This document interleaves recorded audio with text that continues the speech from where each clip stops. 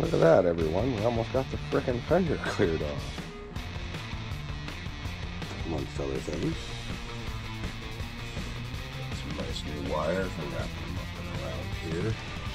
Getting ready for that uh, hot fucking exhaust. Still gotta get water pump. Still gotta fix this dilemma. There's some dumbass drove that up where I got the motor. Oh man, check it out. Oh, Almost ready for exhaust pipes. Check out this freaking shenanigans compared to those shenanigans. That's not factory. Neither is that. Look at all my ghetto shenanigans. Them. What I gotta say. Hopefully it works. Looking like it's gonna work. The studs they gave me that I bought are too uh, small in diameter. Someone hugged the holes out, obviously, because they had problems when they took the manifolds off. Still gotta change the mouths. I have them. I'm just waiting until we build the cross member. Finally figured out what we're doing with it, so stay tuned for that. The weather's way too dry to be welding and cutting with a chop saw right now. Can't even weld the exhaust, so be lucky if I get this thing fired up before winter.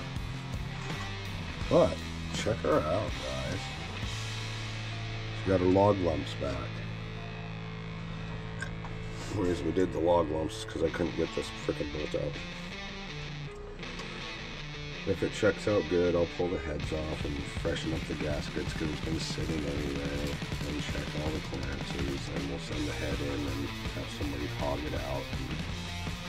do someone else did to the other three. Otherwise, we've almost got all the wiring done. I do have a master cylinder for it. I'll be putting that on later this week. Um, look around for some spark plug wires and a longer bolt for this alternator and see if we can shim that in there.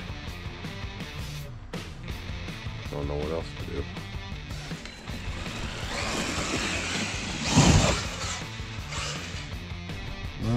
We got that little dilemma there figured out. We got rid of that crappy ground cable back here. Bye. We made a new one on the other side, so all the grounds are on the passenger side. Yeah, that was extra long. I couldn't see butchering it. It was out as a fucking class A, so but look, it reaches.